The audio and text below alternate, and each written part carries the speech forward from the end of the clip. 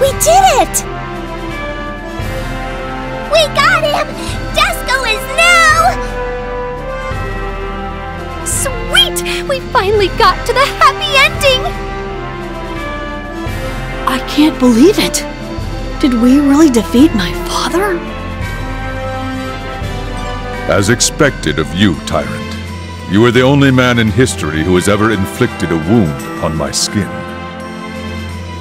But it seems you haven't regained all of your original power yet.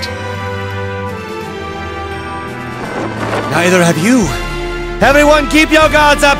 That wasn't his full power! We can expect at least three levels of transformations with additional power multipliers every time! Seriously? Oh, come on! My dream seems to love all kinds of unnecessary excitement. I should be ashamed for thinking that we would be able to settle this so easily. Father's transformations! This will be my first time seeing them! The true power of the president! It's scary, but Desco is ready to witness it! This is a great learning experience! The President is just another obstacle that stands in the way of my Lord's true mission. All is for my Lord. With every fiber of my being, I will get him! There's no need to be so tense. That was all the power I have. I have nothing left, not even the power to transform. What? No way! Desco is very disappointed. Huh?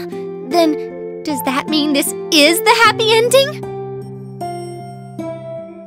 I hope it'll be this easy. Huh? Why are you so negative? Call it being rational. I just know the harshness of reality. How?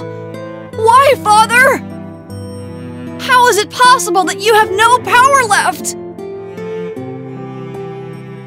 Death King Hugo! You can't possibly tell me that this is how our battle is going to be settled! Explain this to me. The Yakshas, the Overlords, and now even you have become a wimp! I have lost most of my power as well. Consequently, like you, I can no longer transform into my true form. The effects of the fear energy. So you knew. Valvatorez has indeed been gifted with a great partner. The fear energy? I feel like I've heard those words before. What was that again? It's the energy that's created when humans are scared of the darkness. Human fear is like water and oxygen for us demons in the netherworld. And then there's the awe energy, which is created when humans worship the heavens. Awe energy gives us celestial servants power and courage. Huh, talk about eco-friendly. The amount of fear energy, which gives demons their power, is decreased every year. Its effects are greater on demons with more power. Most of the demons who serve the Corrupternment have become worthless. But it's not like the decrease in fear energy just started recently. With the development of scientific technology, the humans began to create less and less fear energy. However, this would have been stopped if we demons fulfilled our basic responsibility of scaring the humans. We tried. The entire netherworld worked around the clock to plant more fear into human minds. However, the humans progressed much faster than we expected. They ousted the demons using their scientific advancements. And it wasn't just science. They developed a much more dreadful power, which incorporated technology with magic. It was a violent power that brought out fear in us demons in return. Th that's a total lie! I didn't read about any of that in my textbooks. We have electricity and gas, but I've never heard of or seen magic technology before. Human girl. The technology that is made public in the human world is only the tip of the iceberg. I'm sure you've experienced falsified information from the authorities firsthand by now. Ugh. Basically, humans have developed the ability to keep their fear energy to themselves. No one can stop them now. Their energy to themselves? Impossible! How could they? It's simple. If humans begin to only fear themselves, the energy they build up will stay within the human world. Wars, terrorism, weapons of mass destruction, accidents caused by human error, and daily incidents of murder. What the humans fear now are humans themselves. Horror stories and urban legends, they're all created to make humans fear themselves. Seriously? You mean horror movies were created so us humans can hog all of our fear energy? That's correct. The distribution of fear energy to the netherworld has been completely cut off. Completely. Not only will demons diminish, but the netherworld itself will be totally eroded away! Fortunately, or perhaps unfortunately, apparently demons have become valuable research materials for humans.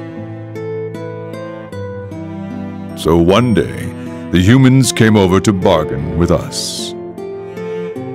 In exchange for their fear energy, they asked to study research demon bodies.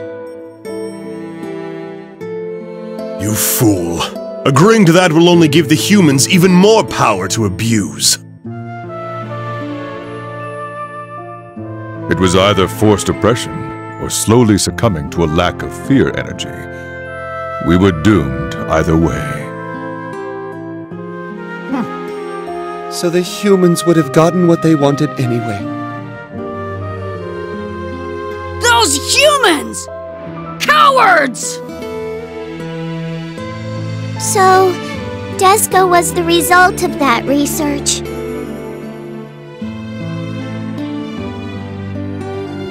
So you were forced to make that deal with the humans.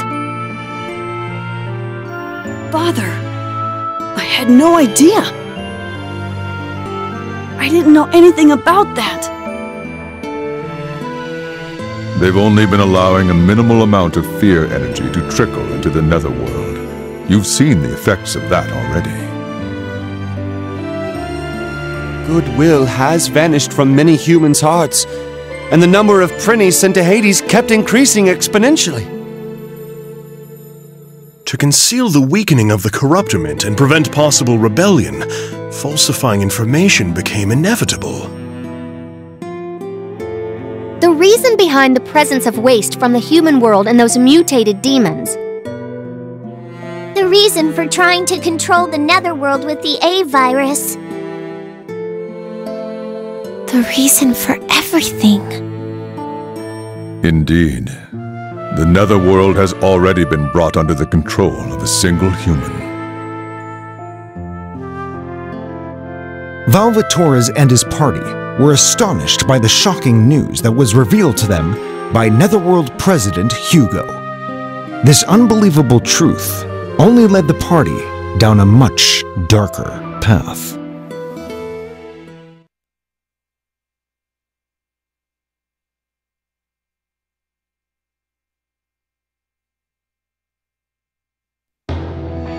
The truth has been revealed, and a new enemy awaits. How could anyone have imagined the Netherworld was being controlled by a human? That's right! Our new enemy is the Purine. Sardines, which I had so much faith and respect for, possess mass amounts of purines.